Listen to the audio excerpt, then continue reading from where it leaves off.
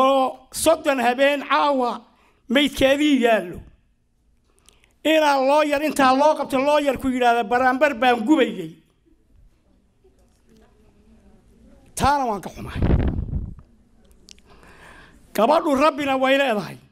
Ragna way la dhalatay. Soomaaliyadna way ka midaysan tahay. In wax loo qabto.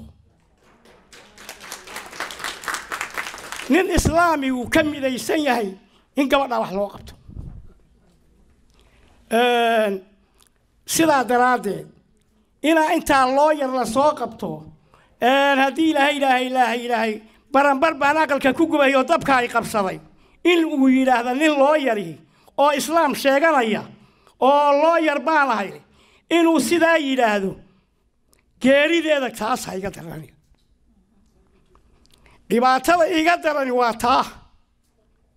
Waxaan mar labaad ku celin madaxweynaha waddanka jooga labada gole ee baarlamaanka maxkamadda cadaalad isku sheegayahay inay ninkaa waajibkii sharcigu sheegay ee shacabtaajir eega uu sheegayay in la mariyo. Haddii la marin waayo rabbina way leedahay. Ragna wuu ka dambeeya. Rabbina way leedahay ragna wuu ka dambeeya. Fara badan oo soomaali oo dhan midaysan oo islaam midaysan oo muuminiin ku midaysan rag iyo haweenba. Way ka dambeeyaan. Iyadoo sidaa tahay waxaan u dilayaa sida ugu dhaqsaha badan maydka inaa maydka lagu daro oo la aaso. Maydka soddonka habeen joogay in maydkiisa lagu daro oo la aaso. Ninka waxaa yidhina gabarh baa dhashay gabarh buu la dhashay gabarh buu qabaa nabsigaana wuu heli doonaa. Ilaahay ma mooga waa samiic waa basiir. Ilaahay ma mooga arrintaa kulla tilmaamina maaha addoommo mu'miniin ahoo la dhashayna way ka dambeeyaan. Anugu waxaan ku soo gaabinayaa hawshaa ha la dhiira geliyo waa diintii islaamka oo la duminayo diinta islaamkaa lagu tumanaya. Dowlad lama noqonayo haddaan waxaa la fulin. Dadna lama noqonayo. Shareecada islaamkana waa la baalmarsan yahay inaan islaam noqonno oon mu'miniin noqonno iyo inaan munaafiqiin noqonno wax u dhexeeyaan aanu ma garanayo. Anugu waxaan ku boorinayaa hawshaa inaa maydkaasi uuna dib u sii joogin oon dowladda farayaa inaa hawshaa maydkaa la fuliyo assalaamu calaykum waraxmatullahi sheegaan ama dadka ku dhow ay ay ay la tashtaan insha allah um, eh, nimankuna inay gabdhaha taageeraan. Oo you know walaalayaashood markay walaal- walaalahood markay khaladkan sameynayaan inay iyagu ugu horeeyaan dadka ka hadla khaladkan oo dhaha tan waa inaynu saxno hadalkan anigu waxaan u dhaafayaa eh, culimmada. Kas caawa waxaynu u baahan nahay inaynu ducayno gabadhan u ducayno familigeeda u ducayno. Um, iyo inaynu dowladdeena message u dir- u dirno aynu dhahno waa inaydin wax ka qabataan oo sharciga sharciga islaamka aydin raacdaan insha allah. This isn't the first time. Marka ugu horeysa ma ahan um, but hopefully it'll be the last time uh, waxaan camal nagu dhaco as a community. Um, and everything she said I totally agree. And I would say um, ciyaalkaas aan ka mashquulin yax kaliya ku mashquulin ciyaalkaas um, uh, maskaxda iyo qalbiga iyo uh, wax dhan oo u furno. Um, intaa ka caawinin intaa ka kaalmey karnana ka kaalmeyno um, adeer baa I think adeera dhahayo murug bay ila tahay inaa kaamirada la soo hordhigayo inuu sheekadoodu ka sheekanaba sheekadoodu waa mog tahay um, intaan ka caawi karnano waana ka caawinaynaa ilaah u naxariisto abaayo aamiin. Um, ilaahay jannatu firdows hagageeyo. Ciyaalkaasne maalina maanta ahaynne um, ayakane eh, eh, magaaladan iyo dhulkooda ha ku soo baxaan ee ayakana meelna ha ka soo qabsadaan. May they make a difference and contribute back in a way that um, honors their mother. And you could, I mean, thank you. asalaamu calaykum waraxmatullaahi wabarakaatu Ah, wallaahi eh, korka ay jirircoonaya ina waan u tacsiyeynayaa ina dadka sokeeya oo ka dhimatay luul cabdicasiis. Gabdhaha soomaaliyeedna waan u tacsiyeynayaa waxaan u aan maanta ma aysan ahayn markii ugu horeyso gabar soomaaliyeed oo dhibaateysan aan aragno. Kuwa baaba la waayo oo haddana ayaamo si loo waday hadalkoodii. Inay dhinteen inay nool yihiin ba aanan ka warqabin.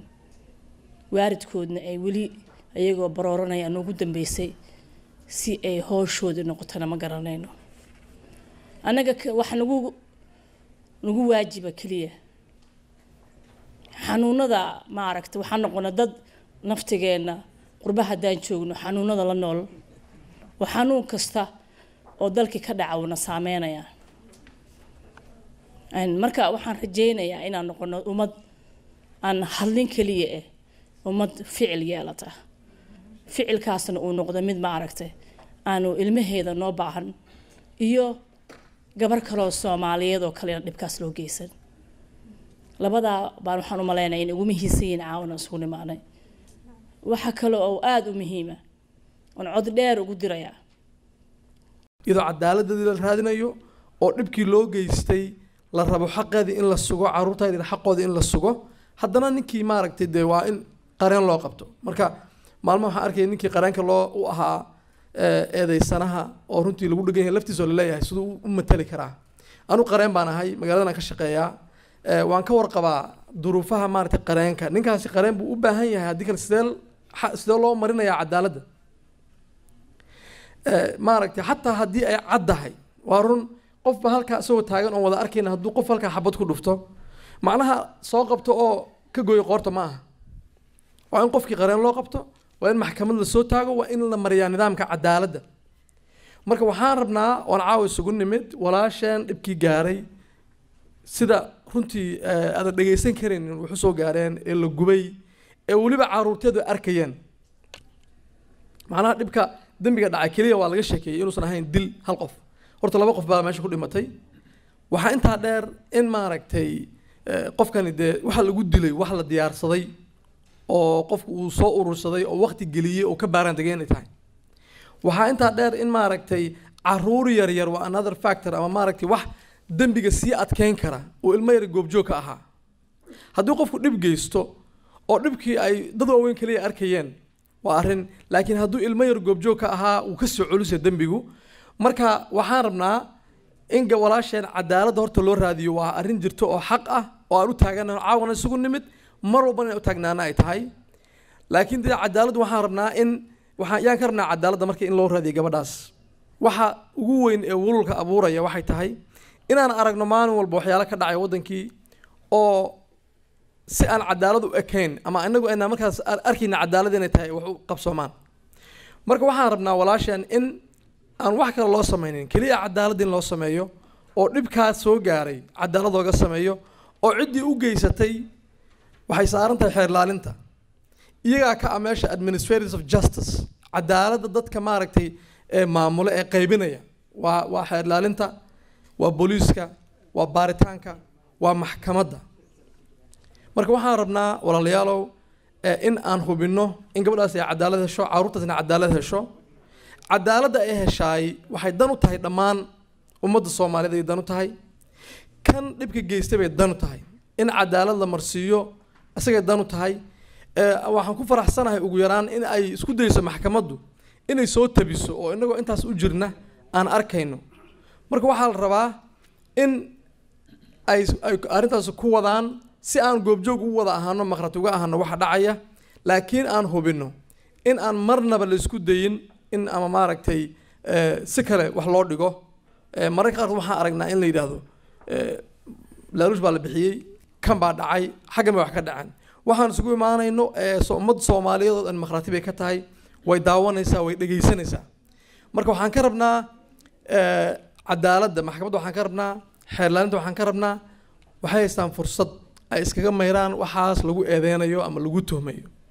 Dadku waa inay u soo raadsaan cadaalad maxkamadda. Haddii ay dhici weydo oo wax maaragtay kan oo kale ah aan cadaalad loo helin waxaa imaanaysa dadku cadaalad inay meel kale ka raadsadaan cadaaladda waxaa ku jirta nabadda. Haddii qofka cadaalad la waayo oo qofku uu ku kalsoonaan waayo intuu maxkamad tago inuu xaqiisii heli karo waxaa imaanaysa inuu gacantiisa isticmaalo. Waxaa imaanaysa inay violence ka dhalato. Waxaa imaanaysa in eh, lagu kalsoonaan waayo cadaaladii. Marka waxaan eh, soo jeedinayaa oo aan runtii sii adkeynayaa in maxkamaddu ay walaasheen iyo ilmaha yaryar iyo qoyskaba cadaalad ay ay ku sugto hubisana xaq